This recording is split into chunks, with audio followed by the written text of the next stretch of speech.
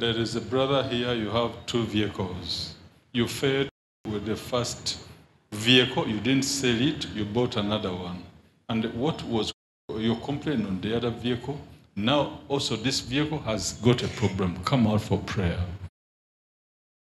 Right now, there is a brother who is coming forth to confirm this prophecy for his deliverance. Let us listen to him. My name is John Chidule from Malawi. I'm the man the prophet called out concerning the two vehicles. Uh, the first vehicle uh, is Mercedes Benz.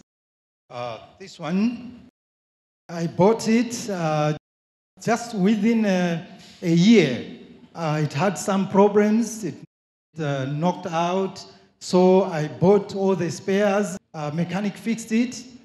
We went for a road test and parked it at my uh, house. The following morning, we clanked it, it failed. Up to now, it's just uh, static uh, in my yard. Then I bought another one, uh, which is uh, Nissan X-Trail, and it only took two weeks uh, when I went to Mulanje, and it had a breakdown of a gearbox. We had to tow it to my house, and I fixed it. Of course, I'm using, but uh, uh, vehicles, I'm spending a lot of money. One day you went and you visited somewhere. As you were driving out, you said, I'm tired of women issue. Don't mention, I don't want to hear, but you drove off. This women issue is so much involved. Where's your wife? My wife is uh, at home in Blantyre. Hmm, but what is this? What is this other home? What was the issue? Oh, yes. Uh, before I married my uh, wife currently, I impregnated a certain girl, and uh, they wanted us to get married, but I didn't want.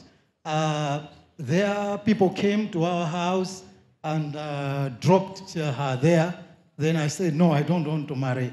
Then, after she gave birth, they took the baby and brought it to my house. So I took the baby and uh, gave it to my mother because at that time I was uh, a bachelor.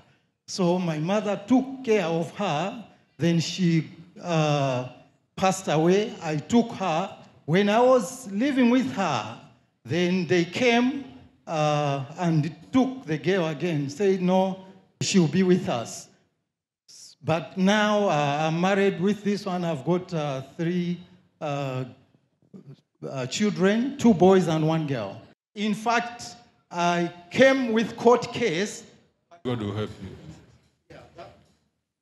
Don't worry. The Lord Jesus Christ is now intervening in the life of Mr. John from Malawi. He's being delivered from these misfortunes and failure in life. Father, help him in Jesus' name.